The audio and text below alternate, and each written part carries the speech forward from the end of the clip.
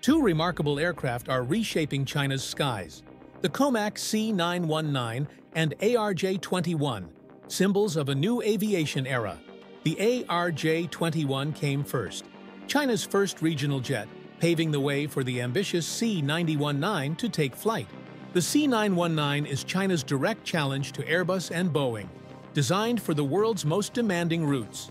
The C919 carries 168 passengers over 5,500 kilometers, while the ARJ-21 flies 90 people across regional skies. Both jets rely on Western engines. The C919's LEAP 1C and the ARJ-21's GE CF-34. Built for power and precision.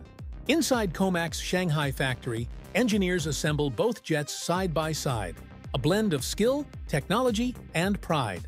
To conquer the global market, Comac seeks certification from Europe and the US, its final and biggest milestone.